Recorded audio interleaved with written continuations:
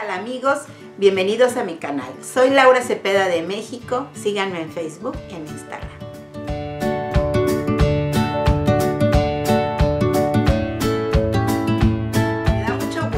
Recibirlos aquí. Sigo en España. Estoy aquí este, grabando todavía unos videos para que ustedes tengan, en el transcurso que yo voy a viajar, ustedes tengan trabajo. Yo aquí ya lo dejo preparado. ¿Y qué creen? Que hoy estoy feliz porque les voy a enseñar a tejer esta capita. Esta capita ya la, la, hemos hecho mucho en las expos y en los lugares donde yo me he presentado. Salió en una revista, pero está agotadísima la revista, amigas. Pero ¿qué creen? Que no sé si se acuerden del video que les presenté del taller en Ávila, que fue ahí en, este, en que llegó una amiguita que lo traía puesto. Se veía guapísima. Esta amiguita se llama Ludin. Ella es muy linda, me encanta, me encanta platicar con ella porque es apasionada del tejido. Les voy a contar algo que, algo que hicimos. Ella es de Madrid, entonces llegó de Madrid a verme a Candelera. Entonces cuando yo estuve en Madrid, ella fue por mí, casi, casi me secuestró, me llevó a su casa, me sentó en su cama y no saben, amigas, me sacó todos los tejidos, todo, todo, todo, todo. Bueno, teje tan bonito, teje tan bonito, que yo estaba a punto de decirle, enséñame a tejer, pero pues que eran todas mis prendas, ¿no? Que yo he sacado en, en los videos, pero de veras la luce tan bonita, de veras que ella es tan guapa, que, que, me encantó, me encantó. Ludin, gracias, estuve muy feliz en tu casa y me hizo un café, no sabe, exquisito, exquisito. Bueno, pues entonces a partir de que ella salió en este video, mucha gente me empezó, por favor, suba esa capita y suba esa capita y suba esa capita. A mí me encantó porque es una capita este, diagonal, asimétrica, como yo le digo, me encantó. Entonces, pues toda la gente este, la quiere hacer, la quiere tejer. Yo ya les había subido algo muy, muy parecido en, YouTube que se llamaba Poncho de Borreguito. Hace tiempo yo lo, lo, tejí de borreguito, también lo tejí con mis dedos porque este es con los dedos y este se los presenté pero tenía cuellito redondo, pero a todo mundo le ha gustado el cuello abierto. Pues entonces les voy a presentar este tutorial, amiguita, dedicado a mi amiguita Ludi. Y vamos a verlo. A ella lo tiene más largo, pero no se imaginan. Yo me llevé aquí seis ovillos o seis bolas de estambre, como decimos en México. Y ella creo que pidió un kilo de estambre porque ella lo trae más largo. Al final les voy a presentar las fotos de cómo se le ve para que lo chequen. ¿Sí, amiguitas? Pues vamos a, a empezar. Les voy a dar la lista de materiales y comenzamos con dos hebras de su estambre. Si lo están haciendo con, destello son dos hebras. Si lo quieren tejer con tamax o andina es con una hebra. Vamos a tomar dos hebras y vamos a hacer un nudo corredizo. Miren otra vez. Tenemos la hebrita de este lado de nuestra mano izquierda y metemos nuestro dedo por atrás. Le damos vuelta y agarramos el hilo. Y ya nos queda un nudito corredizo. Bueno, a partir de ese vamos a tejer cadenitas. Cargamos, sacamos. Cargamos, sacamos. Así como nos queden de flojitas de nuestro dedo, así las vamos a dejar. Vamos a tejer 24 cadenitas. Si se pierden del número, no se preocupen, luego las pueden volver a contar. 1, 2, 3, 4, 5, 6. 24 cadenitas. Ahora tejemos una cadenita más para empezar a tejer en la segunda. En esta no tejemos porque es muy difícil, tenemos que tejer en la segunda, por eso hacemos una más. Tenemos hoyito arriba y hoyito abajo. Siempre vamos a meter en la parte de abajo. Sacamos, cargamos y sacamos los dos. Nuevamente en el que sigue. Tenemos hoyito arriba y abajo. Siempre en todos los de abajo es donde vamos a tejer. Y vamos a tejer, esto que estamos tejiendo son medios puntos o puntos bajos. Vamos a contar que tengamos 24. Es muy importante que los cuenten, amigas, porque a veces tenemos 24 cadenitas, pero medios puntos nada más tejemos 23, 22, a veces hasta menos. Entonces es muy importante que cuenten el número de sus medios puntos. Ahí está. De esta forma cuenten que tengan 24 medios puntos. Ya tengo mis 24 medios puntos. Entonces, ¿qué voy a hacer? volteo mi tejido y sin hacer cadena ni nada empiezo a tejer en el primer hoyito. Y este ya sería uno, dos, y volvemos a tener a tejer otra vez 24 medios puntos. Es muy importante que tomen sus dos partes de la cadena, porque mucha gente me toma la de atrás o la de adelante. Esa ya es otra puntada. Para esta este, chalina asimétrica vamos a hacer el medio punto normal, tomando esta y esta, las dos partes de la cadena. Entonces así vamos a contar 24, 24, 24. Tiene que ser flojito, amigas. Vean cómo lo estoy tejiendo, porque si no les va a quedar muy chiquito. Entonces, 24, 24 van a tejer a que tengan 90 vueltas, ¿sí? Tienen que terminar cuatro este, ovillos de estos, o cuatro de Tamax, pero este, terminan y cuentan sus vueltas y aproximadamente son 90 vueltas y siempre tienen que tener sus 24 puntos y tejer. Si empiezan flojito, terminar flojito, no, porque luego mucha gente ya después de un rato empieza a apretar su punto o aflojarlo más. Entonces tienen que ir parejitas, siempre flojitos, ¿sí? Bueno, miren amigos, yo ya tengo mis 90 vueltas. Siempre fui contando que tuviera 24, 24 y ya llegué a mis 90 vueltas. A ver, ahora vamos a unir un lado con el otro para formar nuestro cuello. Ahí siempre que termino le hago un nudito aquí para que no se me deshaga. Ahora miren, vamos a coger nuestro punto y vamos a unir esta parte con esta, todo, todo de medio punto hasta acá. Tenemos que calcular a que nos quepa nuestra cabeza. Esto va a ser el cuello, ¿sí? Entonces vamos a cerrar hacia la mitad lo dobla ya vieron cómo a la mitad. Entonces vamos a ir cerrando con nuestro mismo punto. Sin cortar el hilo ni nada van a cerrar este punto con este punto y me hacen un medio punto. Luego el que sigue con el que sigue. Tengan cuidado porque este ya está tejido tiene que ser el que sigue. Luego a veces me hacen dos puntos en el mismo o así. Entonces tienen que tener mucho cuidado. Este está chiquito, lo abre. Este con este. Y así nos vamos a ir uniendo nuestro tejido hasta tener un espacio, hasta dejar un espacio aquí, de tal manera que quepa nuestra cabeza. ¿sí? Ustedes tienen que calcular. Miren amigos, yo ya acabé de cerrar toda esta parte con medio punto y ya más o menos calculé que aquí cabe mi cabeza, ¿sí? Más o menos es como una cuarta mía y otro pedacito, ¿sí? Ustedes tienen que calcular, no tienen que dejar mucho, amigas, porque luego queda muy bocón, entonces se ve feo. Debe quedar un poquito cerrado, acuérdense que nuestro cuellito debe de ser pegado. Entonces, a partir de aquí, vamos a empezar a tejer nuestro cuello. ¿Cómo vamos a tejer nuestro cuello, amigas? Vamos a empezar a tejer toda la orilla de aquí, ya sin tomar los dos lados.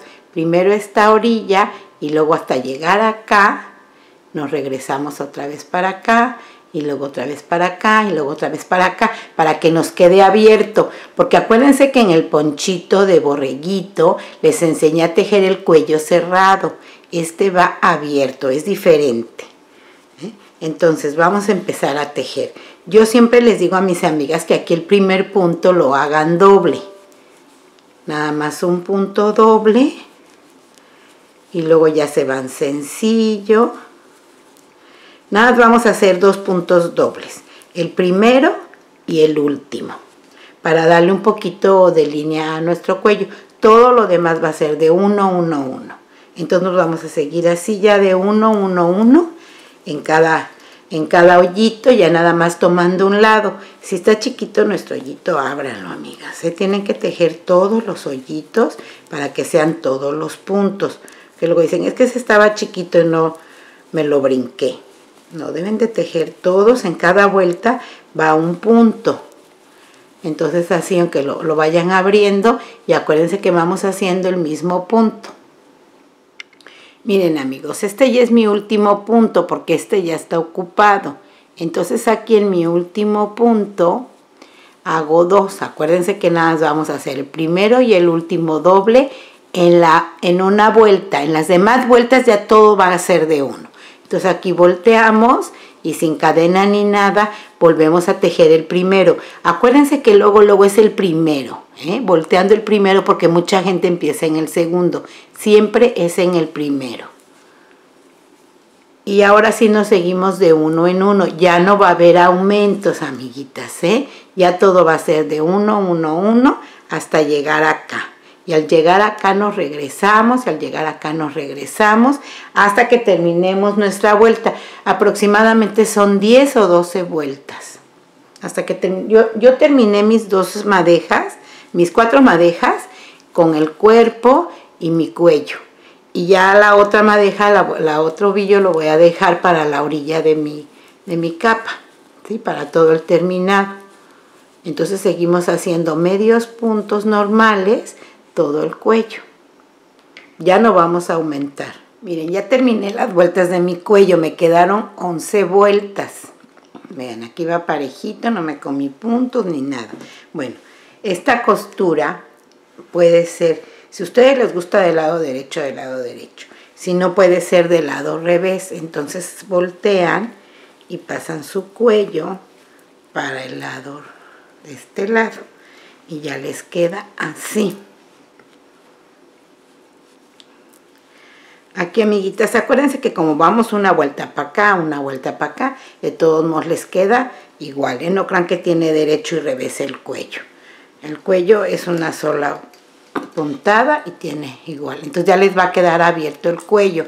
Se colocan un botón aquí y otro botón acá si quieren, sino nada más en el frente, ¿sí? Y si quieren pueden ponerle una vueltecita de otro color y la orilla la pueden tejer de otro color. Yo la voy a tejer del mismo, pero ya depende de ustedes si quieren meterle otro color en la orillita, porque así yo tengo una este, que tengo en la expo, que le meto aquí dos vueltecitas cafés y la orilla de acá se la hago en café. Y ahorita la voy a tejer del mismo color, pero si ustedes quieren, pues le pueden poner, le pueden quitar y ya saben que les queda muy bonita.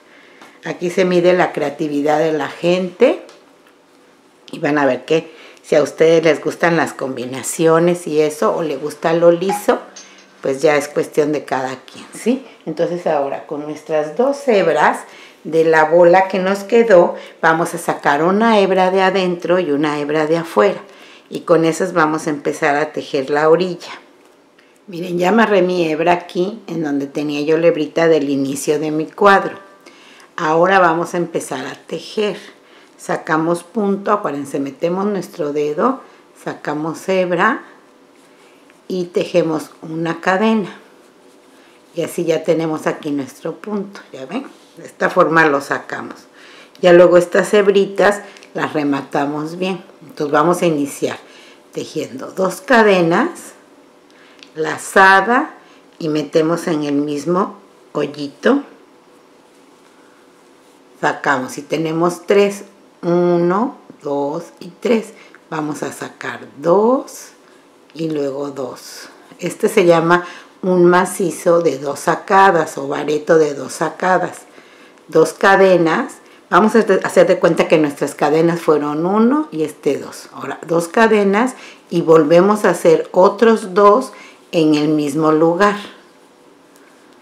¿Sí? Otros dos macizos, lazada, metes, sacas, sacas dos y luego dos.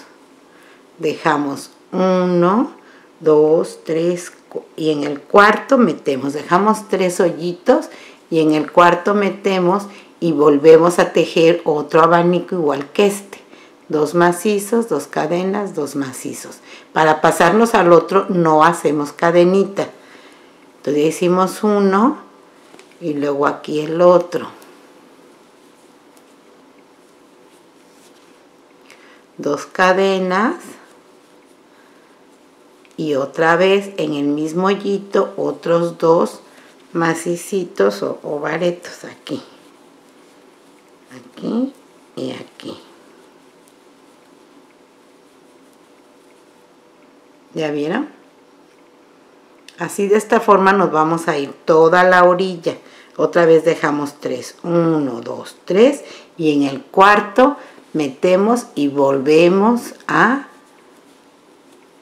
Les voy a decir como decía mi amiguita de allá de Nueva York.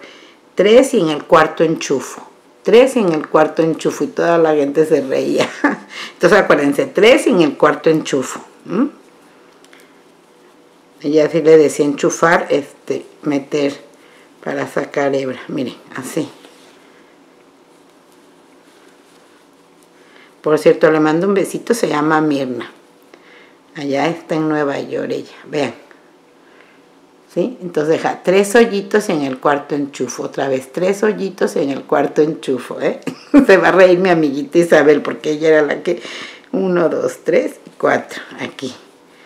Y otra vez. Así nos vamos a seguir toda la vuelta. Lo voy a hacer aquí para que vean. ¿Sí? Miren, yo ya terminé la puntada de la orilla. Acuérdense. Aquí al final vamos a unir con un punto deslizado. Debe de ser aquí. En esta parte de aquí vamos a deslizarnos, ¿sí? Ahora, ya no vamos a, a contar tres, como decía mi amiguita, tres en el cuarto enchufo, que era mal pensado y todos se reían, nada más echaban relajo en la clase de tejido. Entonces ahora nada, vamos a hacer un deslizado y vamos a poner un abanico arriba de abanico. Y acá otra vez.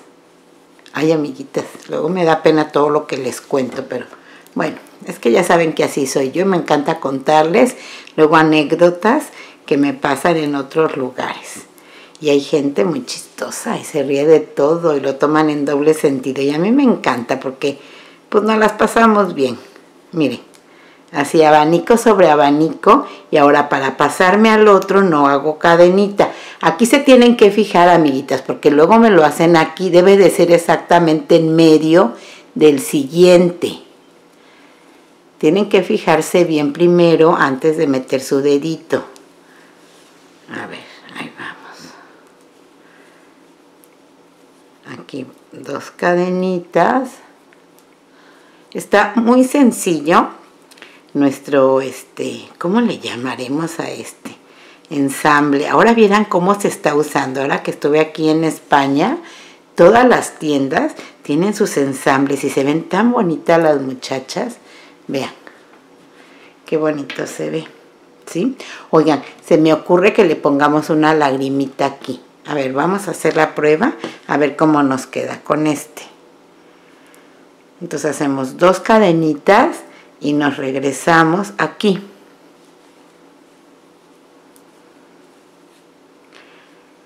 Y luego hacemos nuestros dos macizos o nuestros dos baretos acá y vamos a ver cómo nos queda. ¿Cómo ven? ¿Si les gusta? Pues sí, ¿verdad? Porque quedaría como un terminado bonito y no nos quedaría así tan simple. Bueno, pues entonces las amiguitas que quieran le pueden poner su lagrimita y las que no, pues le ponemos así. Vamos a repetirla. Ay, a ver, entonces hacen sus dos baretos, sus dos baretos, luego dos cadenas y nos regresamos acá. Fíjense en dónde estoy metiendo, en donde empezamos acá y hacemos un medio punto. ¿Sí? Y luego, luego sin hacer cadena, nos venimos a hacer los otros dos macizos o baretos. Acuérdense que son de dos sacadas. Sacamos dos y luego dos. Y ya nos quedó. ¿Sale? Bueno, pues así nos vamos a seguir toda la vuelta. Pues, ¿qué creen, amigas? ¿Qué me pasó? Miren, aquí ya casi termino toda mi orilla. Pero miren aquí lo que me pasó. Se me terminó el estambre, se me terminó la lana con tres abaniquitos, cuatro. ¿Cómo ven?